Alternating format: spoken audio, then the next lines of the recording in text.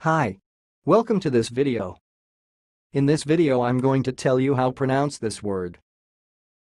The pronunciation of this word is sounds like asegurar, asegurar. So I will repeat again. Asegurar, asegurar. That's all, thanks for listening. If you liked this video, please subscribe to my channel. If you want to share your opinion, please leave comment for this video. Thanks and goodbye.